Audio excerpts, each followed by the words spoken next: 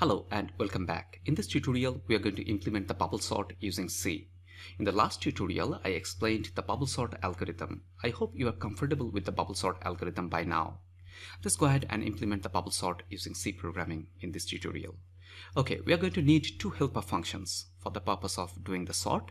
And you can see that the first one is the input array that I have declared at line number 5 this is going this is receiving the base address to the array and the total number of elements in the array and the purpose of this function is to read the content of the array from the keyboard supplied by the user and to place them or assign them to the array elements the second one is the display array and that's going to display the content of the array into the output console. It is also receiving the base address of the array that it is supposed to display and the total number of elements in the array. And the third one that's the bubble sort implementation. It's going to receive the base address of the array that it is supposed to sort and the total number of elements in the array that is the size. Okay I already have implemented the input array and the display array. You see that? The input array is straightforward. It is running a for loop starting from i equals 0 up to i less than size.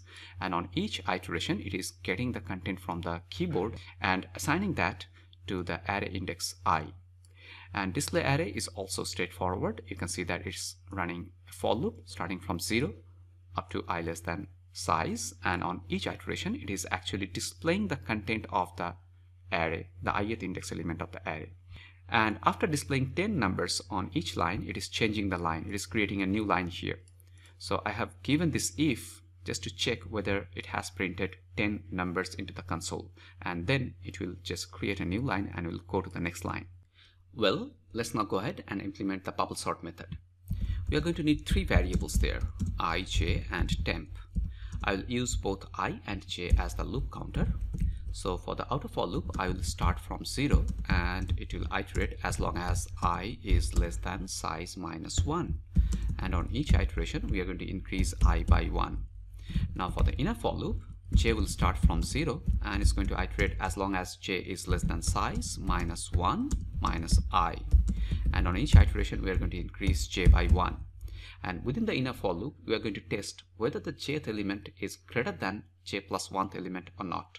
If the jth, element is larger than j plus 1th element we are going to swap jth element with j plus 1th element. That's the logic of bubble sort and that I explained in the last tutorial. So we are going to compare the jth index element arrj with the next one that means ARRJ plus 1. If indeed the jth element is larger, then we are going to swap the jth element with the j plus 1th element. So we are going to take that element at index j and we'll assign that to the temporary variable temp and then we are going to assign the j plus 1th element to the jth element and then finally the j plus 1th element will be assigned with temp and we are done. We are done implementing the bubble sort.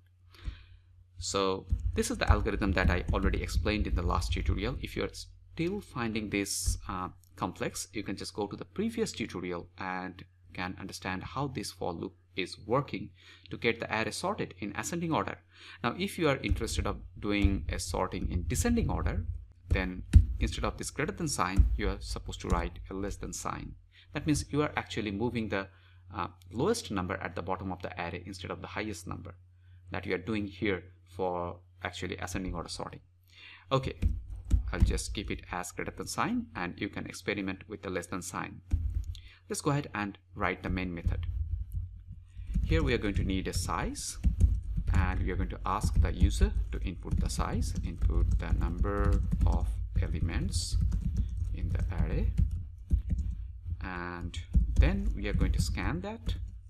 Okay so percent d and percent size.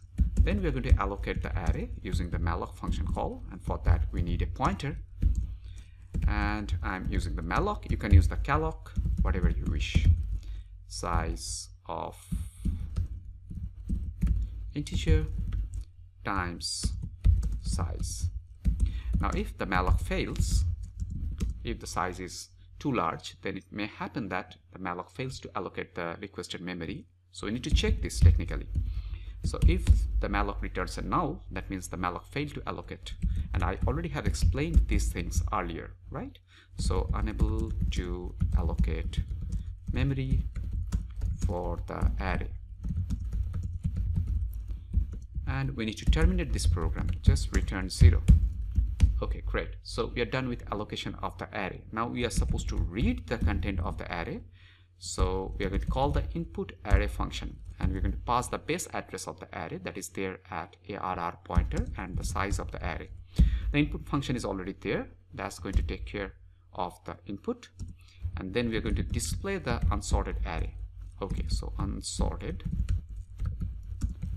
array and to display the array we can just call the display method that's already there. And so, and once the display is done we can just call the bubble sort to sort the array in ascending order. And then we are going to print the sorted array again by using the display method. So this time the message is going to be sorted array.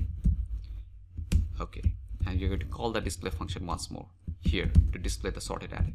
We are done implementing the bubble sort algorithm and the main function also. This main function is going to test the bubble sort for us. Let's go ahead and run this. Okay, here we go. It is asking for the number of elements. I'm going to give 5. So the first number 90, next minus 10, 45, 12, and then 56. So you can see that first of all it is displaying the unsorted array as it is given. All the numbers are given from the user from the keyboard. And then it is printing the sorted array. You can see that the sorting is done there.